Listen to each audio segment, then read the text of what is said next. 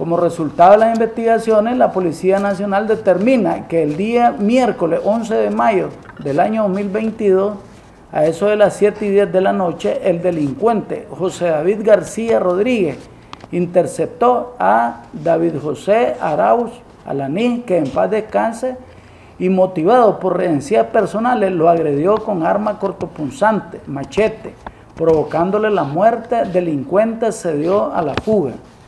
El día viernes 13 de mayo del año 2022, la Policía Nacional capturó al delincuente José David García Rodríguez, ocupándole arma cortopunzante, machete utilizada para cometer el crimen. Aquí presentamos la evidencia ocupada al delincuente, arma cortopunzante, machete. Testigos entrevistados reconocen al delincuente preso José David García Rodríguez como autor de la muerte homicida.